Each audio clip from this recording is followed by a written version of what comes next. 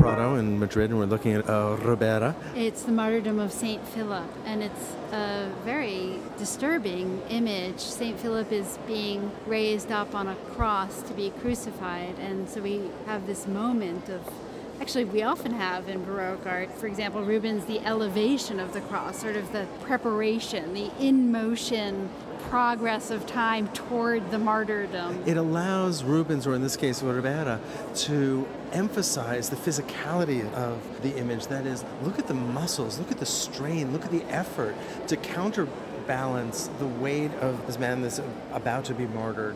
But then, what I find so extraordinary is the handling of the body of St. Philip this series of concavities, of shadows that are already deforming and distorting the body even mm. before he's raised up. You can feel the body's strength. You can see the muscles of the legs, of the arms, but you can also see a kind of hollowness, especially in the torso, that makes him feel so vulnerable.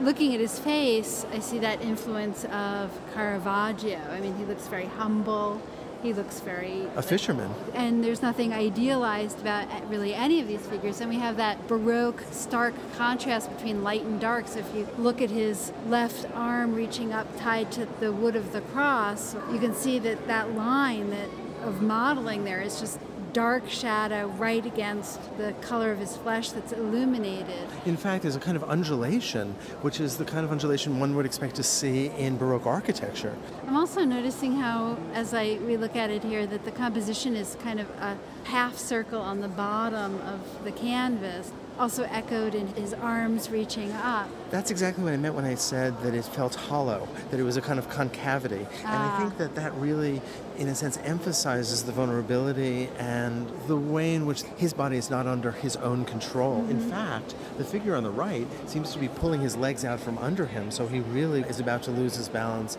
and is about to be at the complete mercy of his torturers. And there's that thing that we always see in Baroque art, too, of intentional foreshortening of uh, figures who move out into our space. That figure in red that you just mentioned, whose torso is foreshortened, who comes out into our space.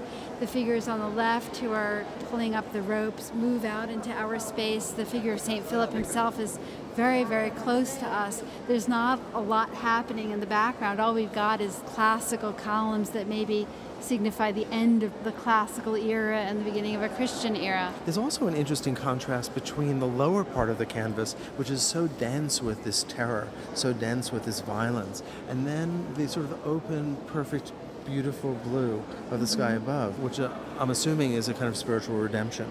I'm also really noticing the mother and child figure in the lower left that somehow makes what's happening to St. Philip seem especially tragic yeah. somehow. Something about the Baroque realism, the everydayness, the way that Baroque artists recreate these religious scenes in a sort of vernacular language